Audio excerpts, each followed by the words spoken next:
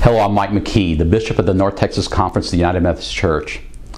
A couple of weeks ago, I stated that we were going to postpone this year's session of the annual conference.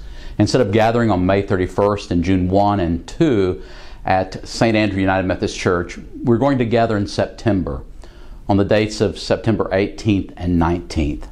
Again, we'll be at St. Andrew United Methodist Church in Plano our clergy session will start Friday afternoon, the 18th of September, at the Custer Road United Methodist Church in Plano as well.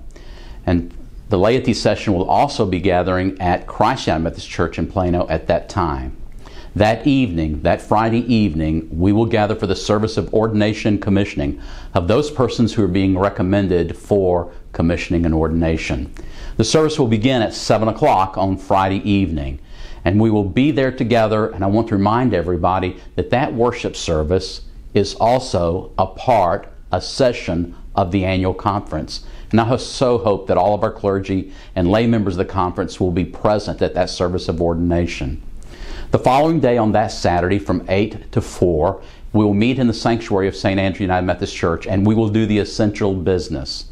So this annual conference is looking very differently than the ones that we've previously, previously had in the last few years. And I want to remind you of that, that it is the essential business of the annual conference that needs to happen so that we can move forward in terms of the next year.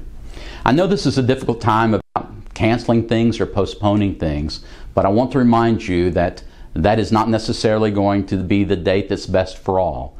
But it's the date that we can be together, and I expect and hope and know that all of our clergy will be present. So put those dates on your calendar, September 18th and 19th. You'll receive information later about the specifics of our annual conference session in September and things that you can do to prepare for that conference, including the district conferences that will precede it. I want to thank you for your continued faithfulness, your continued witness to the gospel of Jesus Christ, and the way in which all of you are caring for the communities around you and even the communities beyond. And I really do look forward for that time in which we can gather face to face. God bless you.